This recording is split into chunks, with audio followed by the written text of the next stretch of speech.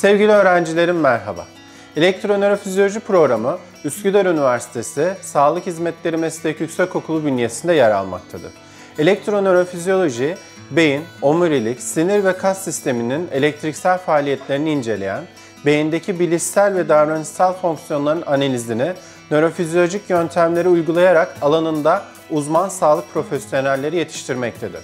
Bu alanda eğitim alan tekniker adayları EEG çekimiyle beyin dalga aktivitesini, EMG çekimiyle sinir ve kas iletimini, PSG çekimiyle uyku hastalıklarını ve intraoperatif nöromonitorizasyon çekimiyle de ameliyat sırasında sinir ve kas sisteminin bütünlüğünü ölçerek nörolojik hastalıkların teşhisinde çok önemli bir rol oynar.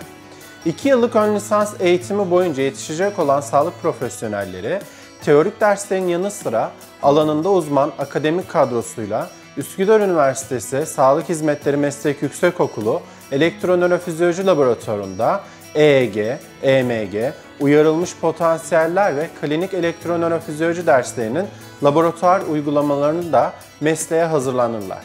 Anatomi, fizyoloji, biyofizik gibi temel bilimlerin yanı sıra EEG ve EMG cihaz kullanımı, pozitif psikoloji, girişimcilik ve proje kültürü ile hasta güvenliği ve etik konuları da öğrenirler.